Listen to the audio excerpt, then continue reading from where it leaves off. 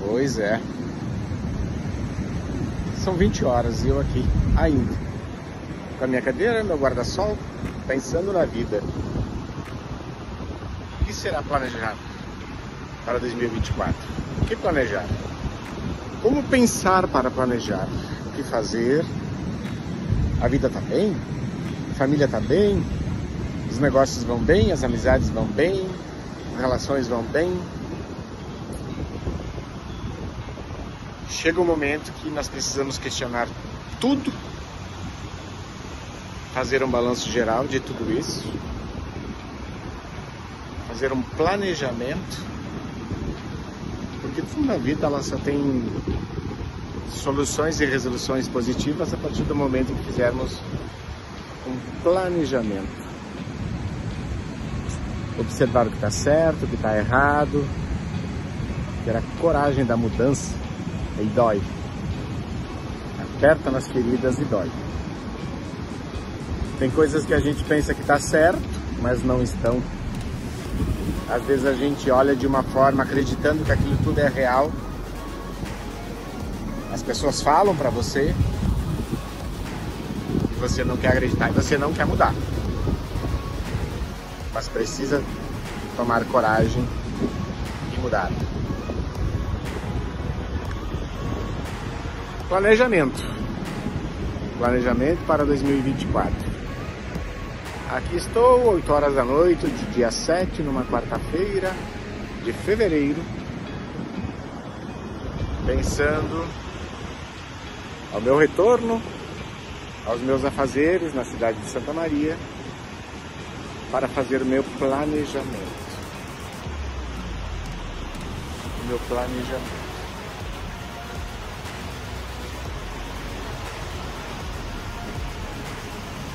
Meu planejamento. as mudanças precisam serem feitas. Bora lá mudar então. Vamos para lá. Fazer o nosso planejamento. Isso tudo continua. Mas nós não. E se nós não nos planejarmos para poder voltar aqui várias vezes, muitas outras vezes, nosso planejamento não vai permitir. A gente vai partir, às vezes mais cedo do que imaginamos. E muitas das vezes por falta de planejamento. O dia a dia da gente é um planejamento. Somos uma empresa, né? Tudo é uma empresa. As articulações é uma empresa. A empresa é uma empresa. O teu corpo é uma empresa. O teu dia é uma empresa tudo tem que ser planejado. Qualquer tipo de segmento é um planejamento. Tudo é um planejamento. Às vezes você tem a arte, mas não planeja. Pode ser o lado financeiro, pode ser todos os outros que agregam a tudo isso, a, a construção desse alicerce até o topo é um planejamento. Seja qualquer profissão, seja qualquer ação, atuação é um planejamento. E a gente não se dá conta disso. Por melhor que sejamos, ou quando entregamos e não fizemos por nós, o planejamento não dá certo. Então vamos encarar a nossa vida de frente antes que seja tarde demais para o nosso planejamento. Faça o seu também. Faça o seu. Vai dar certo. Vai dar certo. Feliz 24. Planeje. Em 25 voltaremos aqui para conversar como foi o seu planejamento. E aí eu vou falar como foi as tomadas de decisões do meu planejamento. Saúde a todos.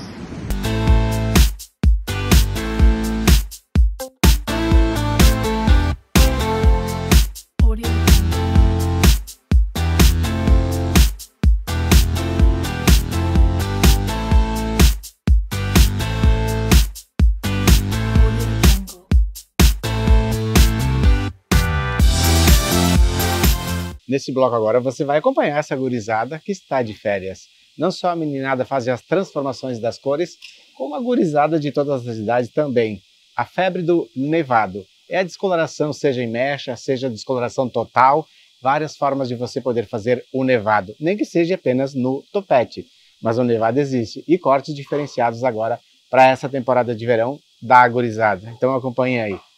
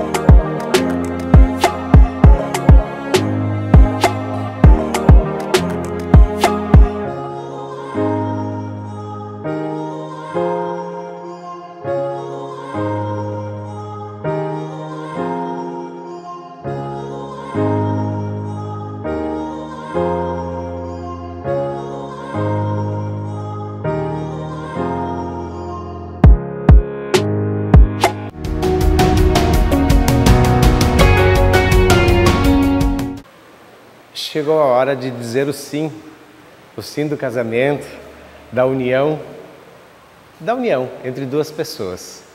Agora você acompanha conosco nesse bloco, então, uma das maiores paixões que a vida nos levou para o mundo todo, que são os verdadeiros, os grandes, os mais técnicos, os mais lindos penteados. Através desse trabalho, eu pude circular mais de 20 países mostrando toda a arte e ao mesmo tempo buscando todo esse conhecimento. Então agora você acompanha conosco algumas noivas e alguns penteados variados, dos quais a gente tem feito nesses últimos dias, tudo aqui dentro da empresa de Lucimar Casagrande. Acompanhe esta coisa linda, esse encanto, esse, esse luxo que são os penteados elaborados. Muitos penteados elaborados para vocês. Segue aí.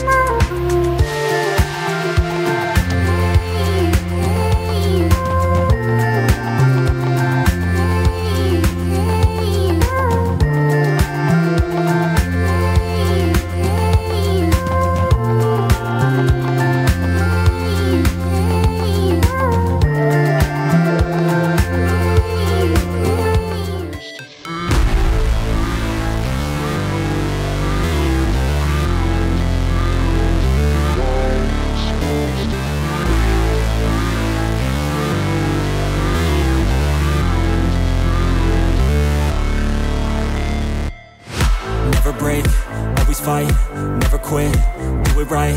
Play the game, win it life, have no shame. There's no time, feel the pain, live the grind.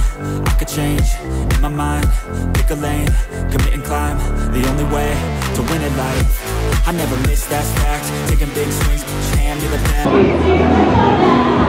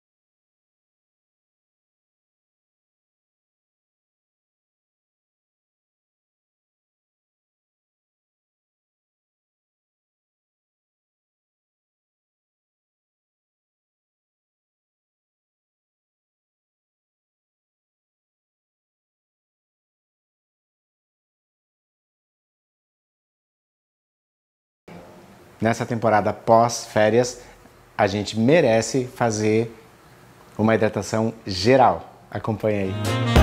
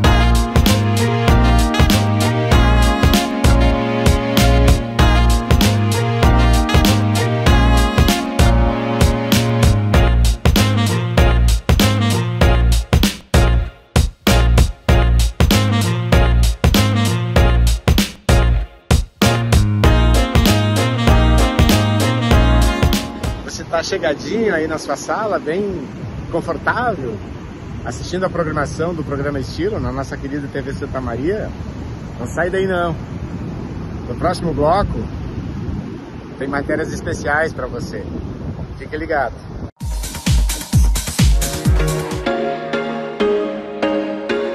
There was once a day that I would pray for you I'd go and misbehave just so you'd notice too Sneaking looks up and down from across the room Damn, what a hell of a view. I feel good, you look great.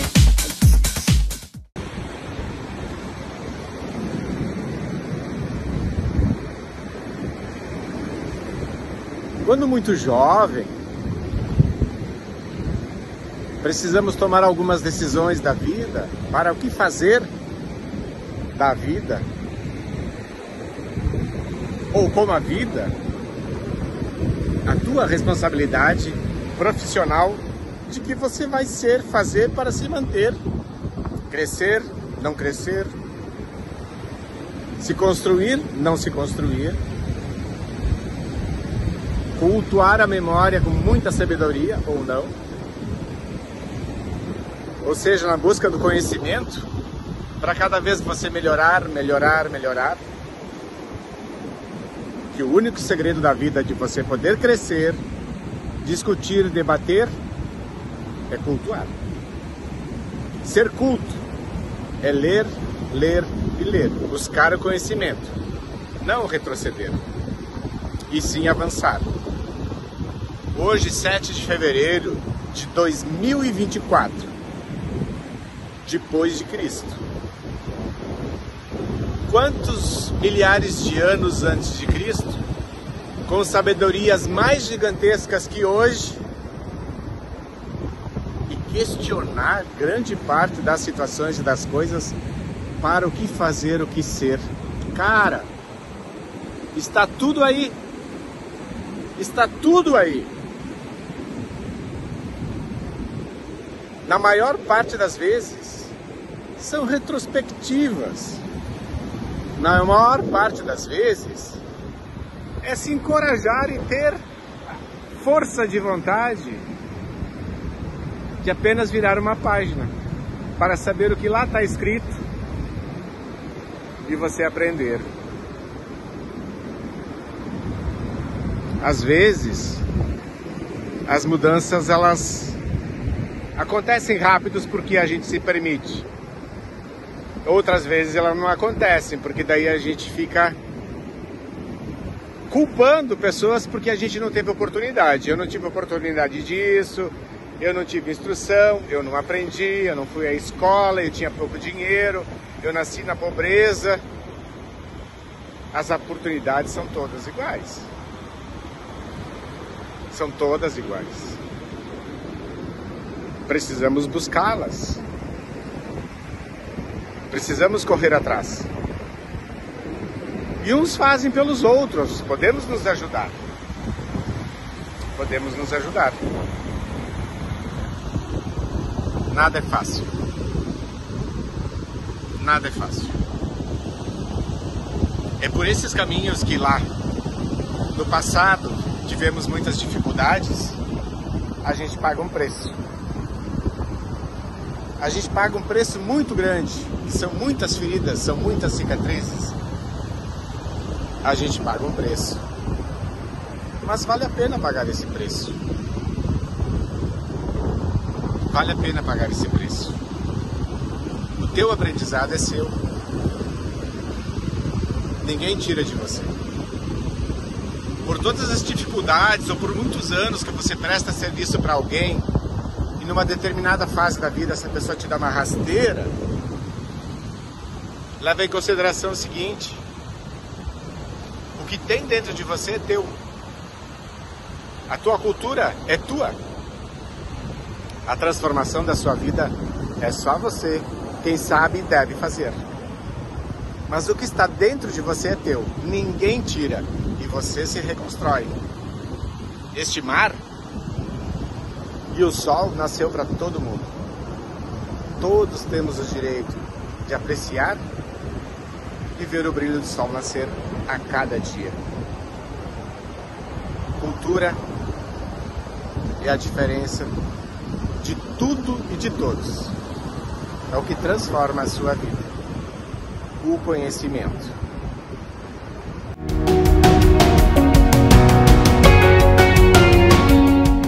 Você só tem uma vida. E durante esta vida, por diversas vezes, você vai ter que enfrentar as tempestades. Você vai ter que enfrentar os problemas. E não tem como ser diferente. O próprio Jesus avisou: No mundo vocês terão tribulações, mas coragem porque eu venci o mundo e você também vai vencer.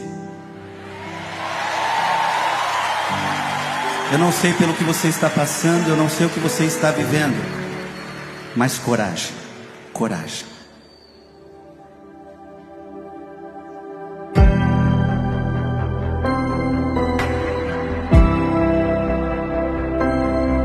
Não tenhas medo, meu filho.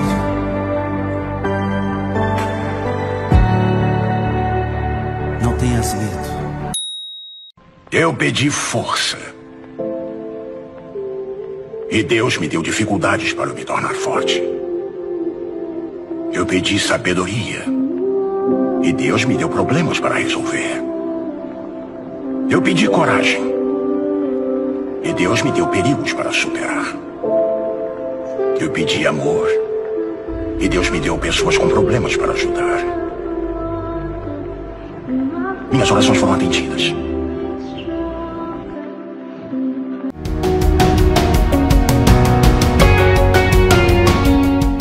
Piores shampoos que estão causando sua queda de cabelo.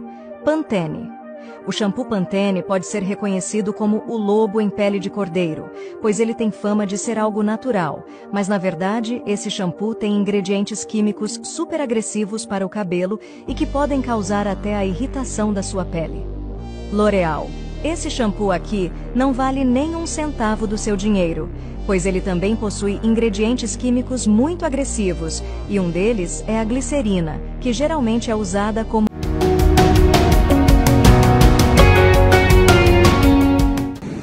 Ah, como eu queria voltar ao passado. Como eu queria voltar ao passado. Das muitas coisas do meu tempo de criança. Das muitas coisas do meu tempo de adolescente. Das muitas coisas da minha fase mais adulta. das muitas coisas, até nesta fase de ser mais maduro, com mais de 50, das muitas coisas do meu tempo de criança, da casa da avó, da casa da nona, da mesa farta com a família, com o pai, com a mãe, com os irmãos. Como a gente sente falta do tempo de criança. E é tão interessante que aquele período curto da vida da gente, que a gente passa com os pais da gente, o meu tempo de criança e de adolescente, passa-se 100 anos e eles são os mais importantes, os mais saudosos de todos os tempos. Às vezes a gente fica se perguntando: é tão pouco tempo para estar junto do pai e da mãe, para receber aquela pequena educação, que é o maior mártir de todos os tempos. O tão pouco tempo que você fica ali, de cada ciclo passado, e de criações, formações diferentes, a gente cobra, ah, porque eu não recebi isso, porque eu não tinha aquilo, mas depois que a gente é adulto e passa dessas fases, a gente pergunta aos pais da gente. E sabe qual a resposta? Meu filho, foi a lição que eu tive. Eu não tive outra oportunidade de, evoluir. E era o que eu sabia dar para você. E a gente fica incriminando, condenando a vida o tempo todo, o tempo todo, querendo transpor a responsabilidade da gente no corpo de alguém. Ah, o meu tempo de criança. Quanta reclamação. Como a gente sabe fazer da vida? Estar num confessionário e só querer transpor ajoelhar-se, pedir graça, a bênção e achar que está tudo certo, e depois voltar e errar novamente, e errar novamente. Ah, meu tempo de criança. E é engraçado que esses pequenos tempos fazem as recordações tomarem formas gigantes nas construções. Porque a gente sempre disse, tudo eu construí nem todas as pessoas, é claro. Graças às lições que eu tive com meu pai e minha mãe. Aqueles poucos anos que a gente tem de oportunidade e os maiores, os mais gigantes ensinamentos de poder estar ali junto deles, E logo em seguida, com o máximo 16, você já começa a construir a sua vida, a sua história. E hoje, com 50, 60, 70, 80, 100, o que mais de interessante você lembra da sua vida? Ah, o meu tempo de criança, na mesa do pai, na mesa da mãe, na mesa da nona, do nono, da avó, do vô. Ah, meu tempo de criança. São as grandes revoluções de tudo, de todo o aprendizado, de cada palavra. Por mais que você não tenha lido um dicionário, por mais que você não tenha lido a Constituição, por mais, por mais que você não tenha lido a Bíblia, que são os maiores livros do ensinamento, do correto para a vida da gente, a família, aquele tempo de criança, antes de sair de casa, é o maior livro que fica em nossas memórias. Ah, meu tempo de criança. Meu tempo de criança. E é como disse, nesses passos da areia que a gente dá, esses passos não foram os meus. Meu tempo de criança.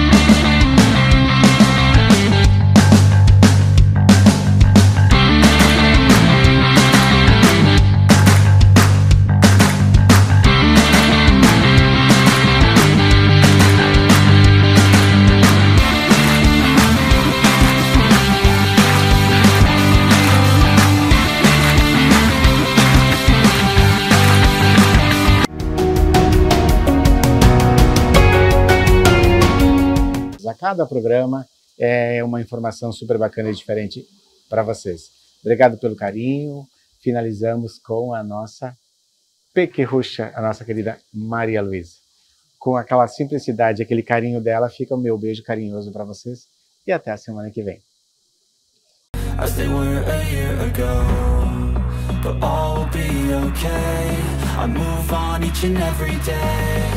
The past is where it stays, way back a year ago.